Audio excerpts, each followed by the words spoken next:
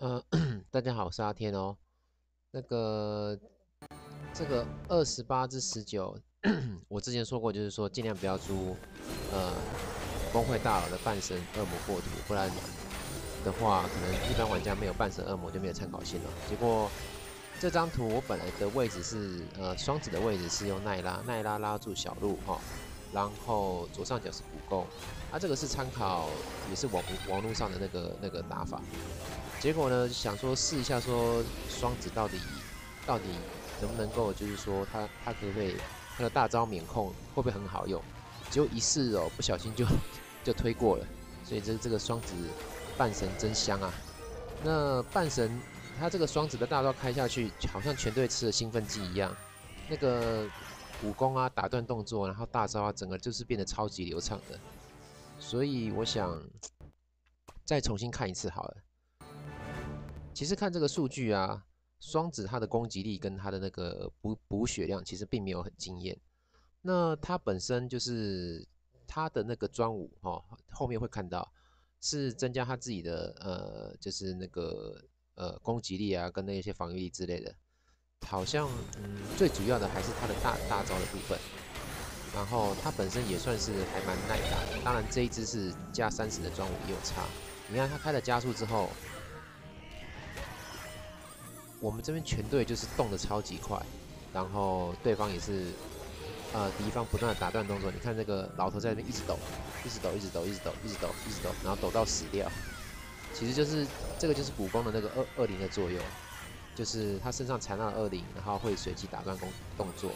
所以你看，就是斯克雷格就在原地在那边一直抖，一直抖，一直抖，一直抖。当然他的大招可以免控，可是当他可以发出大招的时候，已经已经来不及了。然后就莫名其妙赢了。其实我觉得他的大招就是有一种全队吃吃兴奋剂的感觉。OK，所以说呃，今天是礼拜五，我已经用用了一次，呃，租了租了一次佣兵。然后呢，我还可以再租一次，因为我一呃，我我之前我有提到我是有订阅那个一百块的订阅制。那一百块的订阅制的话，就是你一个礼拜你可以租两次佣兵。好，所以 原本来讲，你一个礼拜你只能使用佣佣兵推推一次主线。那因为你如果你租了租了那个订阅制的话，那你一个礼拜你可以用两次。好，然后这是这是神人的那个角色。那他的专武加三十啊是这样子，你看，呃，解锁的时候一开始就是两人可以提供攻击力、防御力，然后两然后加十是也是两人提供，加二十是呃目标对。好，对其中一个双子下降四十八，然后加三十是后续六秒，什么好像都是跟他们两个有关系。可是刚刚看起来他的，诶，他们的那个攻就是攻击输出的量并没有很大，但是主要是在这个大招，好，就是增加七十五帕的级数，然后还可以免让团队免疫。然后这个这个是诶友军恢复攻击力的那个呃他他们的攻击力生命值，然后并恢复能量，然后加速开大。啊，这个是会让敌人晕眩，但是晕眩的效果，呃，应该有，但是但是还好。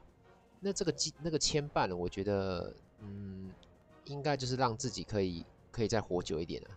但是就是这个放这个使用装双子之后，就是它的大招放放下去之后，整个战局就很稳定。那如果你再配上像古弓这样子的控场角色，它就会变得，嗯，怎么讲？就是多读几次大概就过了。所以再重新看最后一次哦。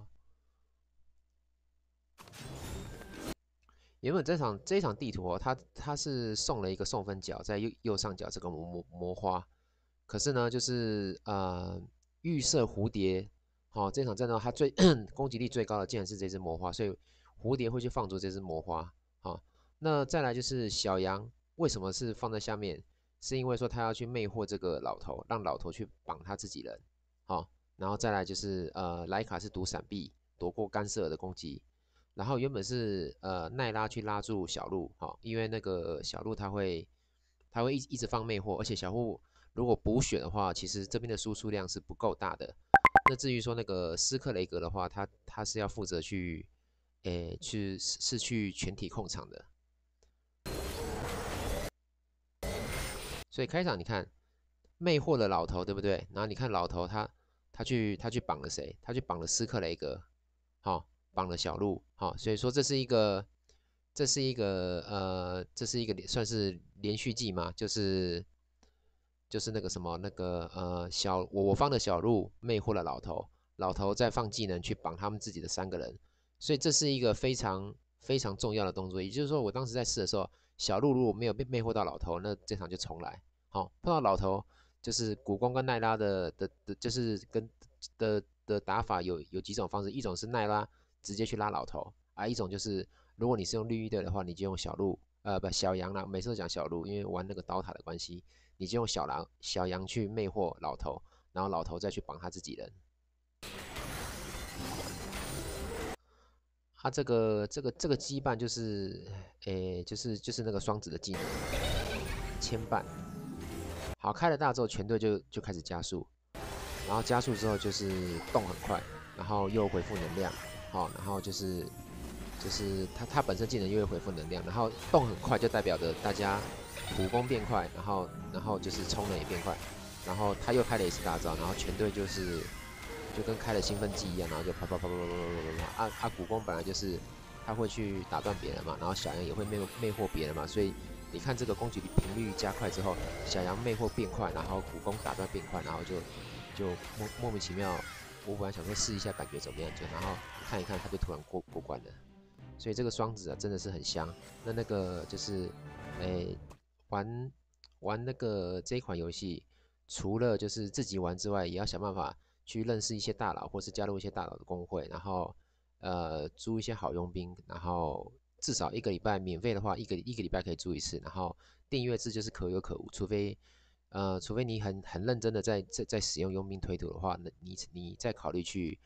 去那个什么，去去去订阅，不然他那个十趴，其实我觉得我觉得还好。但是虽然说十趴还好，但是就是那个什么，呃，每日任务多一个，其实我是觉得还还蛮不错的。因为如果说它是随机到一些比较优质的任务的话，像是粉尘啊，诶，这个就是蛮需要的。从一开始到后面，粉尘都是很需要的。